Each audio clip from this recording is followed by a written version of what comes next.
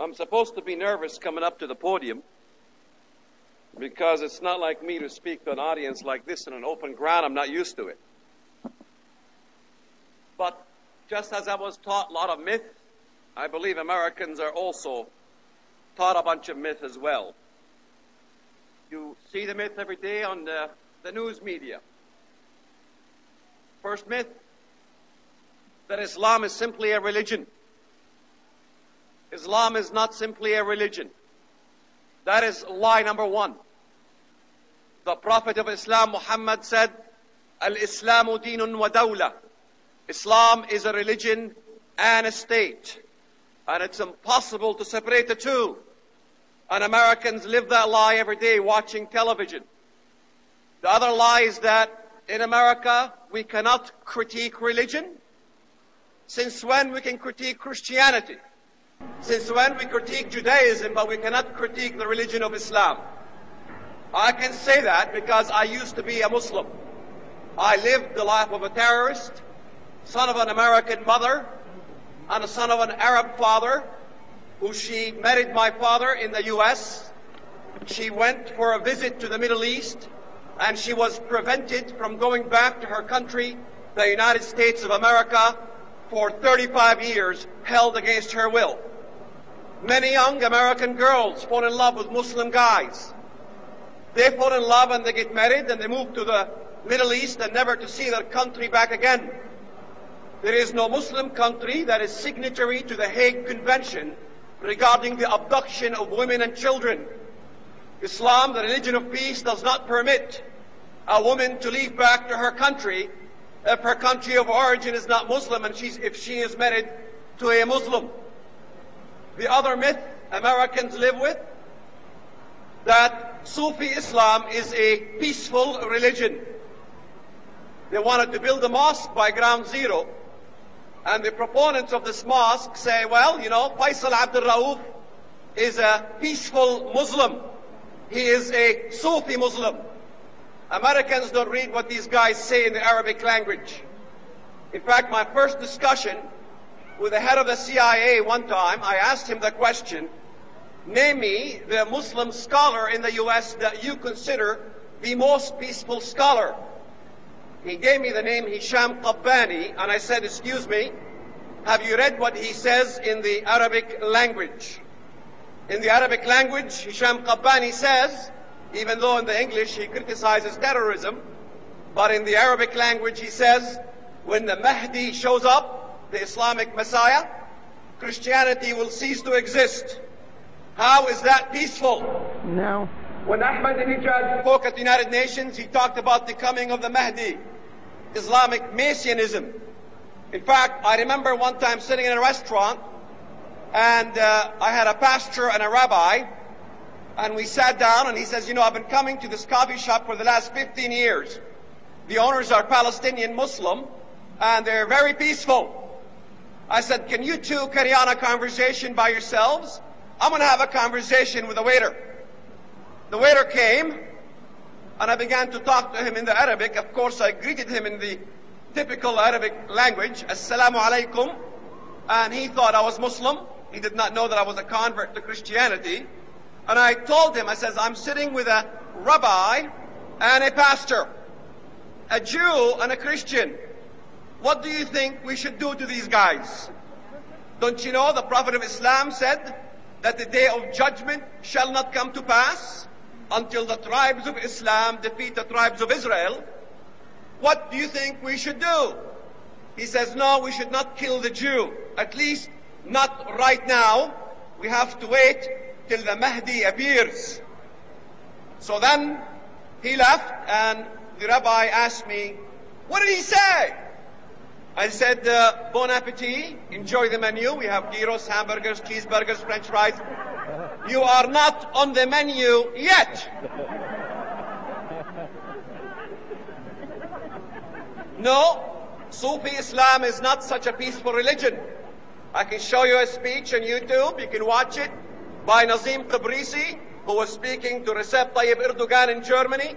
And he was talking about his speech in the Turkish language, talking about when the West will bow to Islam. That's the dream. Because most Americans, when they think of terrorism, they think of the explosive act. Terrorism is the explosive act. No, my friends, terrorism is not simply the explosive act. Terrorism is also the Islamist political act. Terrorism is the process of building mosques on ground zero by ground zero and trying to replace your constitution with Islamic Sharia law.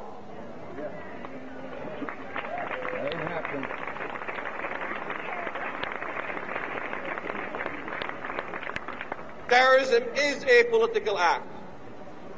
Let me tell you what they say in the Arabic language, because most Americans, when they watch the Islamists come on television, they watch these programs on CNN and Fox News, and they hear all these things that is said simply in the English language.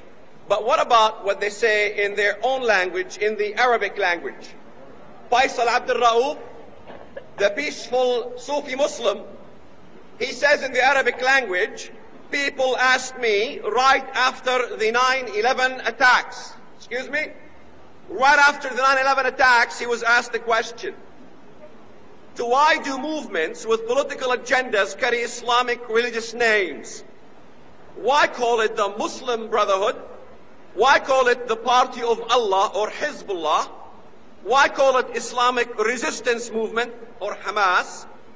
I answer them this that the trend towards Islamic law and justice begins in religious movements like these because secularism had failed to deliver what the Muslim wants, which is life, liberty, and the pursuit of happiness. Hello?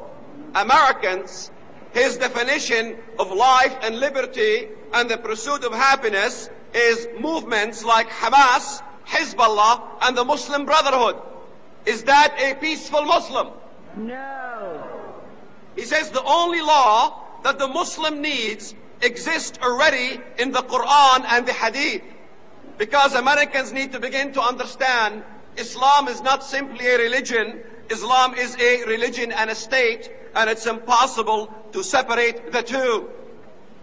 He says, for that we collectively believe that the state that was erected by the Prophet in Arabia was the ideal model for an Islamic state.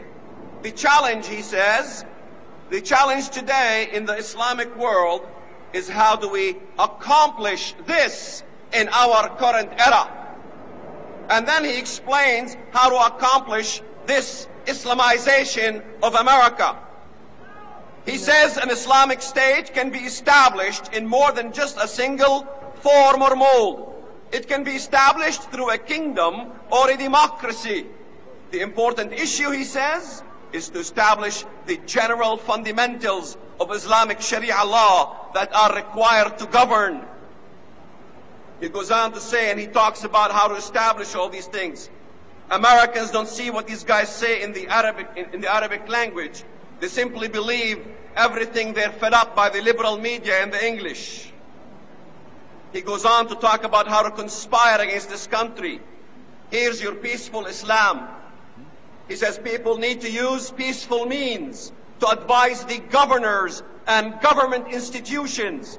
We also suggest to the governors and political institutions to consult Muslim religious institutions and Muslim personalities in the field so as to assure their decision making to reflect the spirit of Sharia Islamic law. In other words, become prominent Muslim figures and get up there in the government and begin to influence the president, begin to influence the State Department, begin to influence the lawmakers so as the law here reflect and begin to respect the Islamic Sharia law. No, Mr. Abdul Rauf, Americans will not respect Islamic Sharia law. They will respect the Constitution of America that was established by the founding fathers.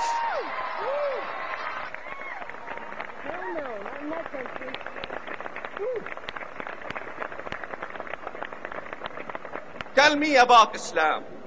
Tell me that I cannot critique the religion of Islam.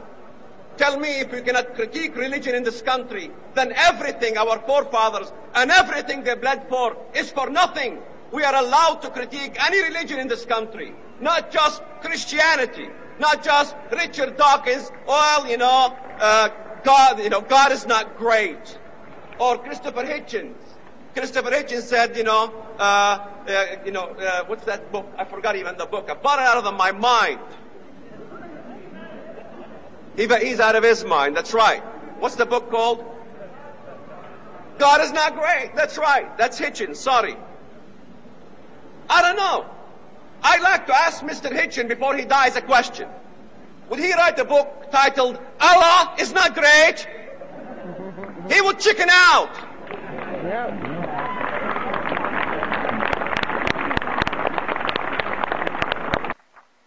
You know, I must have been hit with amnesia. I remember when I first got in the liberal media, confessed ex-terrorist. Can you imagine on the media, on the radio? I remember the first interview in the liberal media, they say, when Walid, uh, you know, uh, since you're a confessed terrorist, don't you think you belong in prison? Said, you know what, you're right. I am a confessed terrorist, and I do belong in prison. But why is it that you only want to imprison the confessed terrorist and you want to release the real terrorist in Guantanamo Bay?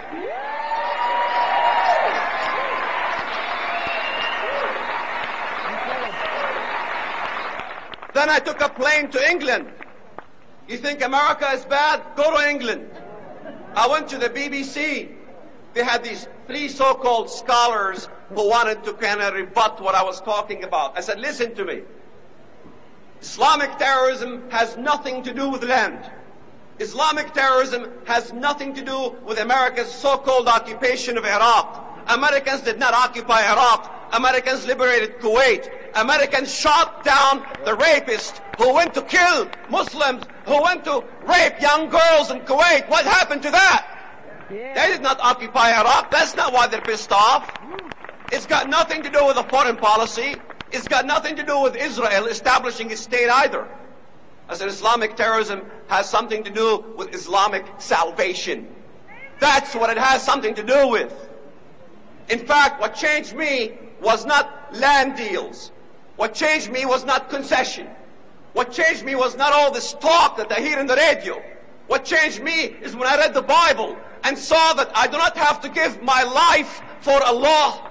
That God of the Bible already gave His Son to die for me.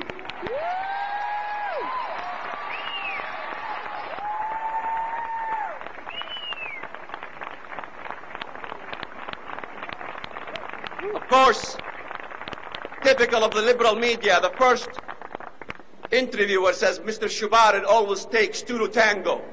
I said, no, sir. That's another myth. It does not take two to tango. There's usually a rapist and there's a rape victim. What did the victim do to tango? If it takes always two to tango, tell me, what did the Jews do to tango in Nazi Germany, sir? Yeah.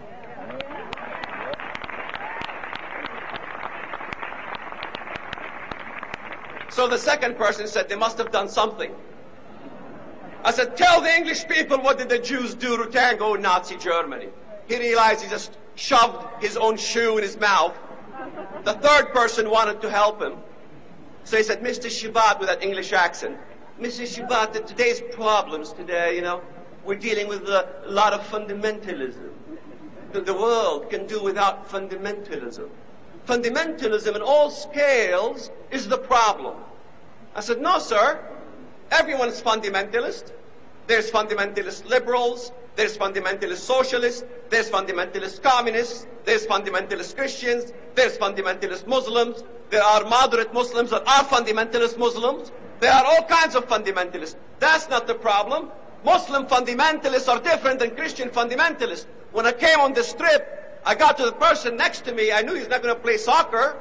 I knew he was in the middle of the air, so I began to open my Bible and witness to him about Christianity. And I admit, I must have given this person a headache. But a Muslim fundamentalist takes the whole head right off. You're telling me there's no difference?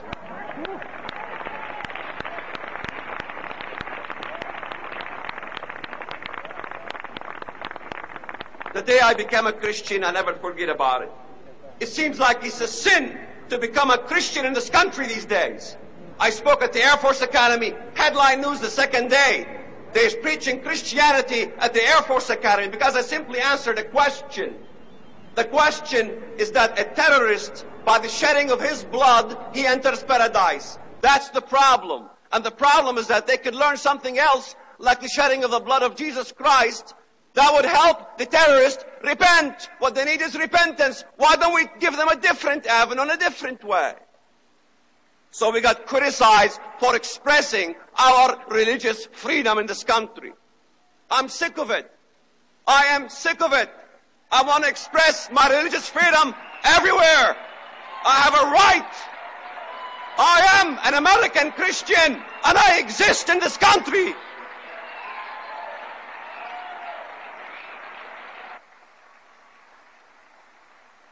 Oh, you're, you're one of those guys that believes in Armageddon. Yes, I do. I believe in Armageddon.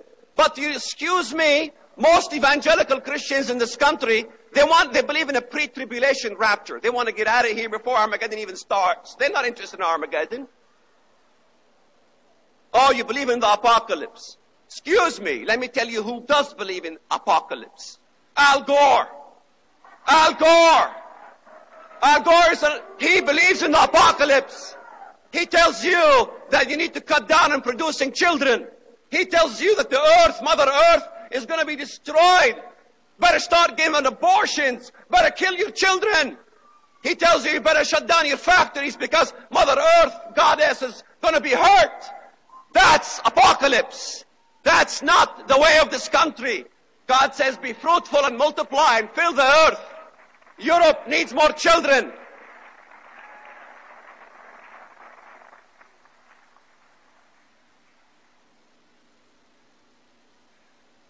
Comes to terrorism, my friends, I love talking to police officers. Yesterday I had a three hour discussion with police officers. Excuse me, Mr. Officer, if somebody commits a crime like rape or murder or theft, is there any excuse? No. And it doesn't matter if that officer is a Democrat or Republican. They all know crime is a crime. There is no excuse. So I ask the question, why India? Why? There is no excuse.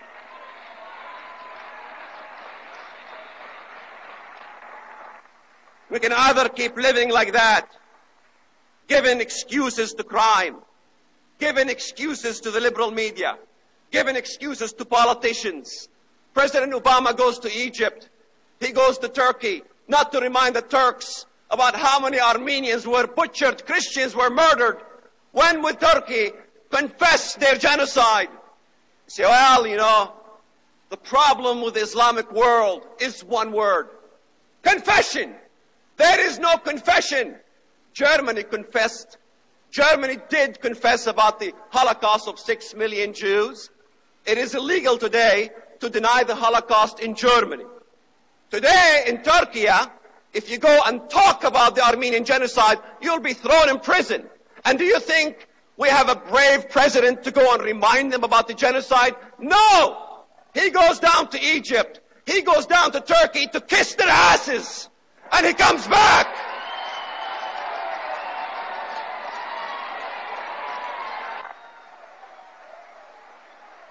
And then he goes to Egypt. And what does he tell the Egyptian? What does he tell the Egyptians? Uh, the Muslims in America are suffering greatly. I haven't seen any suffering Muslims in America. Well, I, I will do everything in my power to establish uh, uh, uh, uh Islamic welfare system in America. We don't need no Islamic welfare system.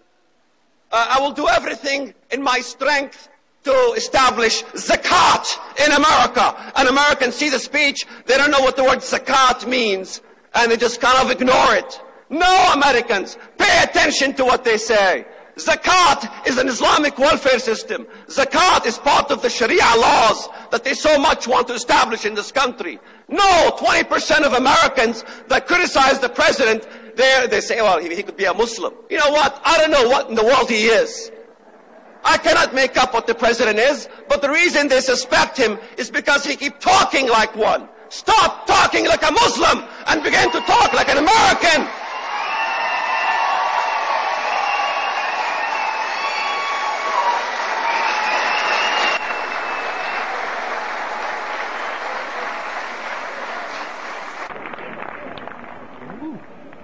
Crime to read the Bible. It's a crime to pray at the Pentagon. You cannot pray at the Pentagon anymore. The son of Billy Graham can't even make a prayer service at the Pentagon. Why is it that the President of the United States of America says that the Bible teaches violence, that the Bible teaches slavery? Have you read your Bible lately? He says. While that one man can take over the White House and can take over the Pentagon, the other man who's a Christian cannot even conduct a prayer service at the Pentagon. This is not the America that I want to live in. This is not the America I want for my children.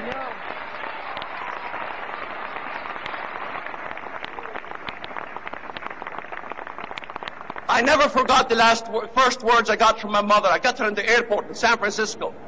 35 years in, in, in exile.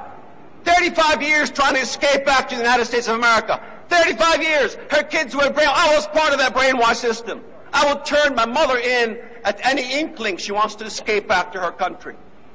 Finally, in 1993, I became Christian. I began to ask myself, what the hell did I do to my own mother? This is the religion of peace. My mother, 35 years, 1994, I rescued her, brought her back to her country. And I remember what she told me. She said, son, I lost everything in my life. I lost my youth. I lost my hair. I lost my teeth. I lost my children. You're the only thing that I was able to salvage out of all my life. I thank you. I said, no, mother, don't thank me. Thank the verses of the Bible that you shared with me when I was 16 years old. She planted that seed. She told me about the Bible. She said, you don't have to die. You don't have to become a terrorist. God already provided a son. But again, the manure of life as usual. You go through the manures of life and every one of us has manure.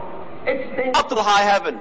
But thank God for God because He uses the manure of our life to make the fruit even better and sweeter. Thank God for the Judeo-Christian values in this country. Thank God for critical thinking.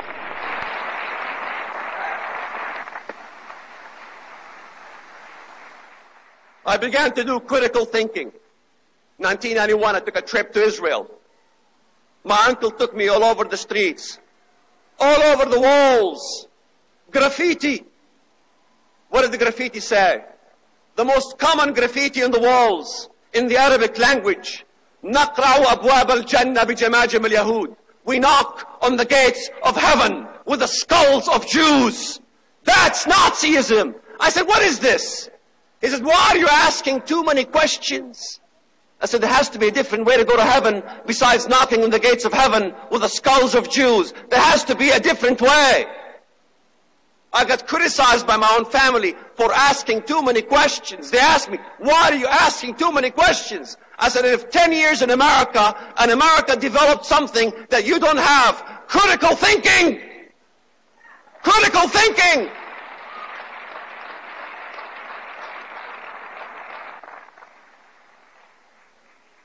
Went all over universities, began to speak at your universities. In 150 university campuses, they have Muslim student unions, part of the Islamic Brotherhood, part of the apparatus of the terrorists. Then you have the Fort Hood massacre, 13 Americans slayed, 13 Americans slayed. And then the government sends the Islamic Society of North America to brainwash the American troops, to Islamize them after massacring them. This, my friends, is a shame that has to end in this country.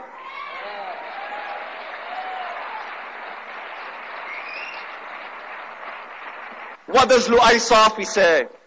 Lu'ay Safi, the Islamic Society of North America, in the English language, they all condemn terrorism. But yet, in the Arabic language, he writes that every Muslim community in America have to assess their condition to see the kind of jihad they need to carry out in this country. No, my friends, Faisal Abdul Rauf, Osama bin Laden, Anwar Awlaki all have the same goal. Their goal is to make America Sharia compliant. That's what they want. Anwar Awlaki said the same crap Faisal Abdul Rauf says, oh, I condemn terrorism. Oh, I want uh, uh, dialogue. I want, you know, faith dialogue, uh, interreligious dialogue, so on and so forth. Where is Anwar Awlaki today? He Said the same things Faisal Abdul Rauf says. Why are there American drones looking for him? If he was such a peaceful Muslim. They all say the same things. I call it double speak. You say one thing in the English, you say another thing in the Arabic. Americans are not used to this form. Americans need to begin to wake up. I know that kind of deception. Americans are not used to taqiyya wa kitman wa muruna. How to conceal the faith. How to conceal your true intents as a Muslim while you harbor inner animosity towards the enemy. How to be flexible and stealth. That's what it's about. Jihad, jihad by the finances. Jihad then comes by the sword. Do you want to trust these organizations? Who do you want to trust? The Council of American Islamic Relations? In which the head of the Islamic, the, the, the CAIR of Texas, 65 years in prison for terrorism activity. And then you have another guy, Sami al-Arian in Florida. Who supports him? Who talks good about him? Who says this was us? It wasn't right for putting him in jail. Rashad Hussain, the speechwriter of President Obama. And then he gets an office. You have opened your fortress to the enemy. The enemy has his Trojan horse in the White House. Trojan horses in the White House. Trojan horses in the military. Trojan horses in the FBI. Trojan horses everywhere. That, my friends, has to end. No, this is not Islamophobia. No, this is not Islamophobia. Oh, Islamophobia. Excuse me? Islamophobia? The problem is not Islamophobia. The, the problem is Christian phobia. That's the problem. I say, Christian, ah! Why? Why are we ashamed of who we are? Are we ashamed of what this country is about? All right. Then as Americans, do the right thing coming November. Go out there and vote and change things around for a change. God bless you and God bless the United States of America.